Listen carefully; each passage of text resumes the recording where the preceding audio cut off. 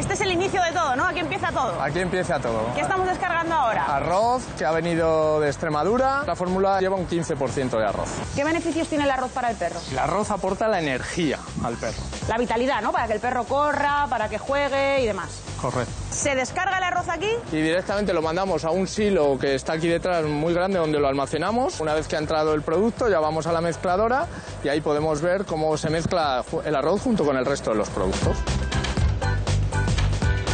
Hay varios ingredientes más importantes que, que te voy a explicar y que te tengo aquí preparados en la mesa. Ven, empezamos. Carne de pollo deshidratada. Aporta proteína y desarrollo muscular al perro. La carne fresca de pollo. ¿Qué diferencia hay entre la carne deshidratada y la carne fresca? Una es carne fresca normal y la otra la hemos quitado el agua. Por eso tienes aspecto de polvo, ¿no?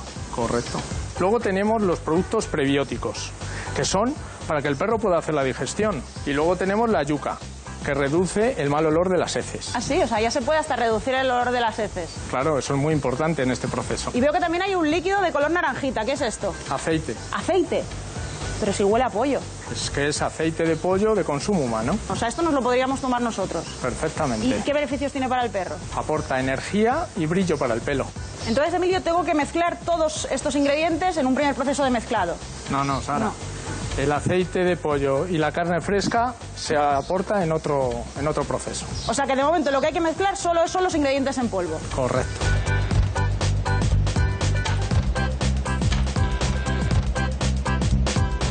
Pedro, ¿qué Hola, tal? buenas, ¿qué tal? Me han dicho que aquí mezcláis todos estos productos. Efectivamente. Aquí lo que hacemos es unificar todos los productos en uno. Vamos a hacer una premezcla. Tenemos la parte automatizada y veo que también hay una parte manual. Sí. Aquí añadimos vitaminas y minerales para una completa alimentación para el perro. ¿Y por qué lo añades manualmente y no entra como lo demás? Porque se necesita introducir en pequeñas cantidades. Aquí debajo está la mezcladora. Son unas aspas, ¿no? Son unas aspas que mezcla todos los productos. Esto es como un robot de cocina, de los de casa. Efectivamente, igual que una batidora. ¿Cuántos kilos caben aquí? Unos 2.000 kilos. Y una vez la mezcla esté hecha, ¿qué hacemos? Te vas para el molino que va para allá.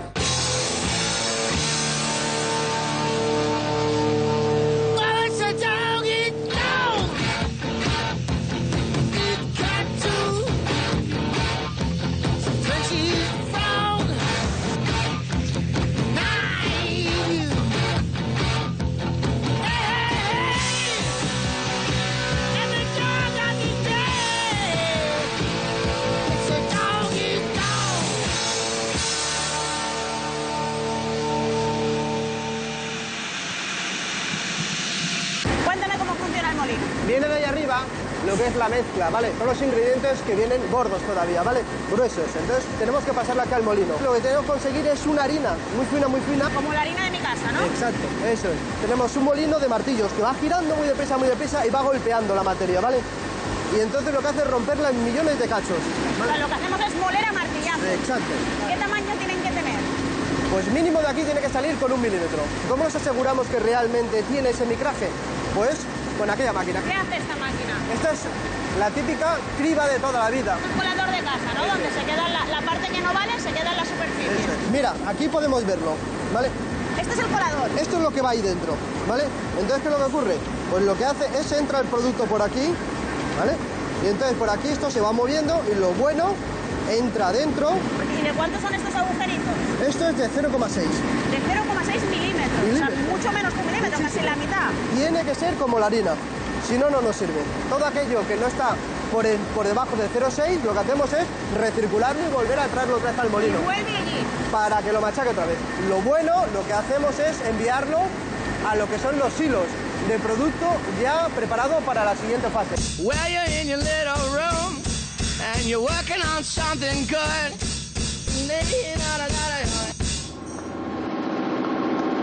Por fin el, el ingrediente estrella de nuestras croquetas, la carne fresca, ¿verdad? Exacto. ¿De qué animal viene? Viene normalmente de lo que es el pollo. Esta carne es realmente cuando tú haces en el pollo el despiece para hacer las bandejas para consumo humano, ¿qué es lo que ocurre? Que como lo hacen manualmente siempre queda un pequeño desperdicio.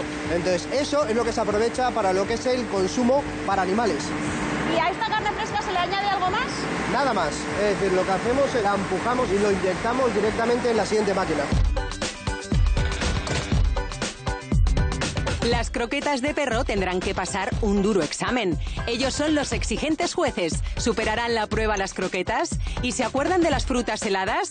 Hoy las fabricamos. ¿Sabían que no todos los limones valen para hacer este postre? Solamente el 7% de las frutas de un limonero son adecuadas.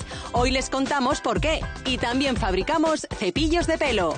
¿Saben cómo se meten las cerdas en su interior? Hoy lo verán. Y hemos llevado nuestra cámara lenta a la fábrica de copas de vidrio. Cada gota se convertirá en una copa. Enseguida lo ven. Seguimos fabricando croquetas de perro.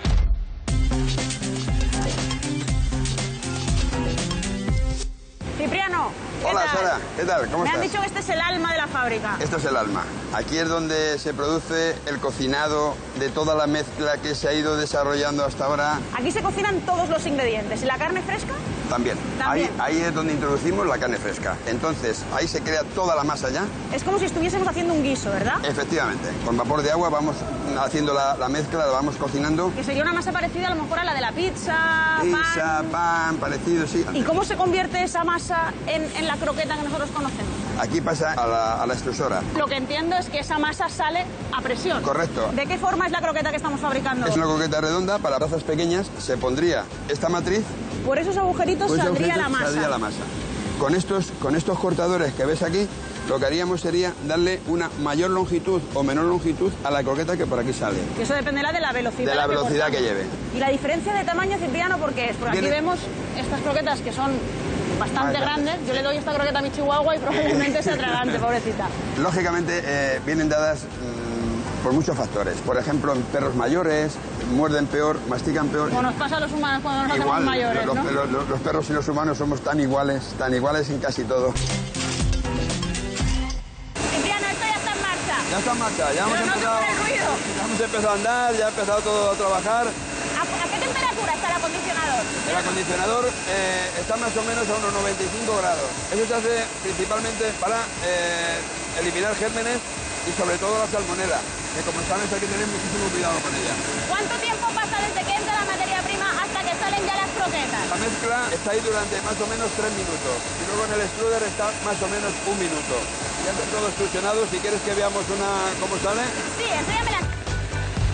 Está muy caliente. Claro, parece chicle, está saliendo con más o menos un 30% de humedad. ¿Y cómo sube por aquí?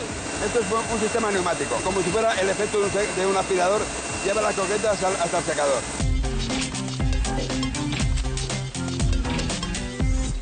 Aquí es donde sacamos las croquetas, donde las convertimos de los 30 grados de humedad que traíamos de la extrusora a los 9 grados que tienen que salir para que se lo coma tu perro. Eh, mide aproximadamente unos 20 metros. Lo que hemos querido pretender con ello es que sea un, eh, digamos, un secado lento, tranquilo, ¿Cuánto tarda?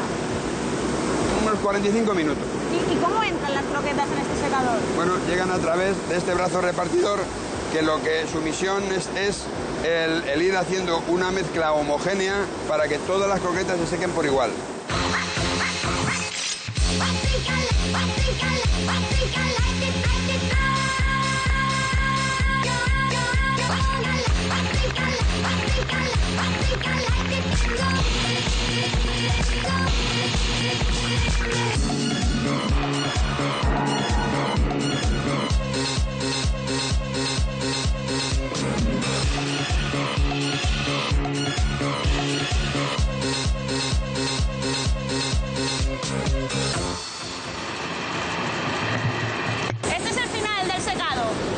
Mira ya cómo se ha quedado el producto. La croqueta ya, Ya después, dura. ya dura, ya, ya seca, 9 grados. ¿Esto podría ser consumido ya por un perro, Cipriano? Podría, pero todavía le faltan unos detalles, como es aceite, como es apetente, secretillos que son necesarios para que el perro se lo coma muy bien. Javier, ¿qué tal? ¿Qué tal, Sara? ¿Cómo estás? Vengo de secar las croquetas y me han dicho que aquí le ponéis apetentes.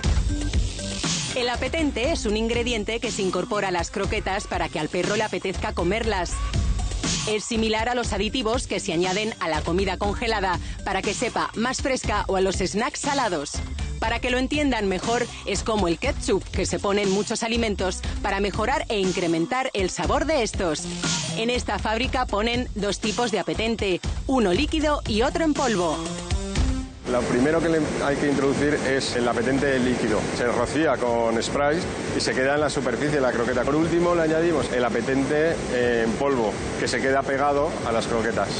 ¿Cuál es la diferencia entre el apetente sólido y el líquido? La gran diferencia es que el apetente líquido tiene un 70-80% de agua. Entonces no le puedes incorporar demasiado apetente líquido porque te pasarías de la humedad que necesita el producto. Por eso lo completamos con el seco. El seco, pues como su propio nombre indica, no tiene humedad y le puedes incorporar más porcentaje. Ya tenemos las croquetas rociadas de los apetentes. ¿Y ahora qué hacemos? Las croquetas salen por el segundo tambor y los coge este elevador Z de color beige que ves, que va por ahí y cae a la siguiente máquina que es el enfriador.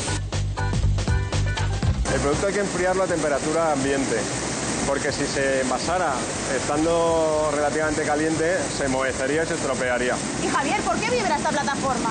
Nosotros utilizamos en toda nuestra planta de producción canales vibrantes para evitar eh, contaminaciones cruzadas de una producción a otra. Por eso el canal vibrante se lleva toda la producción y no deja residuo de ninguna croqueta anterior. ¿Y estas ya serían croquetas para envasar? Estas croquetas se podrían envasar perfectamente y, se la- y estarían aptas para que se las coma una mascota. ¿Verdad, Carlos? Sí, es muy bien. Este es el, el área del envasado.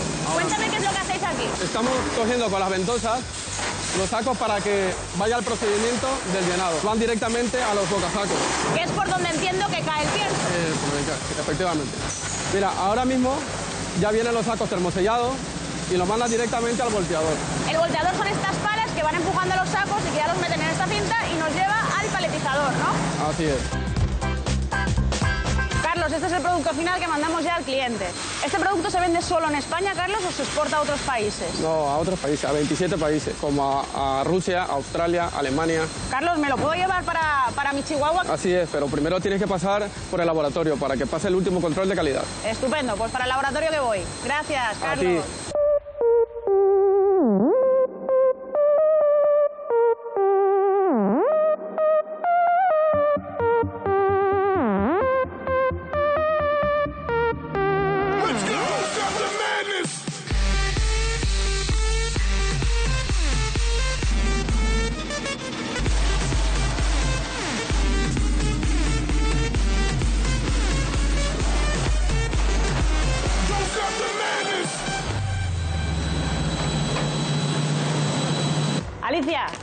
Tengo el producto ya terminado y me han dicho que tú le das el último toque. Introducimos este cuenquito de croquetas dentro de esta máquina azul. Esta máquina es un analizador muy rápido, saca una huella dactilar de lo que le estemos analizando y nos dice toda la composición que a nosotros nos interesa para saber si es correcto o no, si es válido o no es válido. Ya le has introducido todos los parámetros que ella necesita.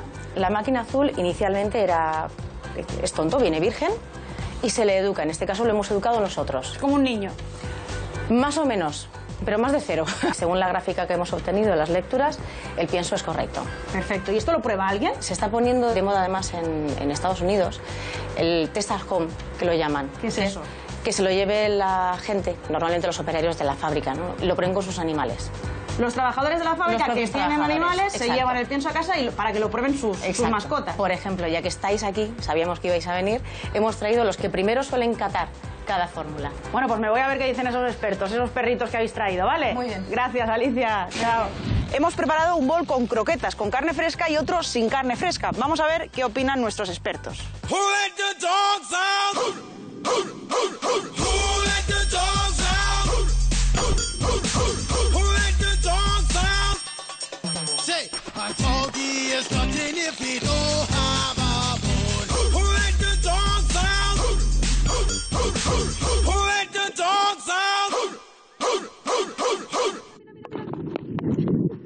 Pues parece que nuestro producto es el preferido de nuestros expertos, expertos como Lulú. José, ¿qué tal? Veterinario nutricionista. ¿Por qué le llamamos croquetas? En definitiva es pienso para perro, ¿no? Lo llamamos más bien alimento para animales de compañía. Entonces, y como es un alimento, se diferencia bastante de lo que denominamos pienso para el resto de los animales. Entonces, se quiso diferenciar y se le llamó croqueta. Dudas aclaradas, vamos a ver si te parece, José, el proceso de fabricación de las croquetas para perro. ¿Vale? Las croquetas para perro llevan arroz, carne de pollo fresco, pollo deshidratado y hasta 25 nutrientes, vitaminas, aceites y minerales. Primero se mezcla la parte en polvo. Antes de producir las croquetas, es necesario que la mezcla tenga menos de un milímetro de grosor. Para ello, se muele y se pasa por este colador gigante. En la extrusora se cocina la mezcla en polvo con la carne fresca. De aquí ya sale la croqueta con su forma habitual, pero blanda y con un 20% de humedad. Ahora toca secarla en este secador de más de 20 metros. Se incorporan los apetentes que harán que el perro se coma mejor las croquetas. Esta máquina la seca a temperatura ambiente y solo queda comprobar que los verdaderos expertos dan su visto bueno.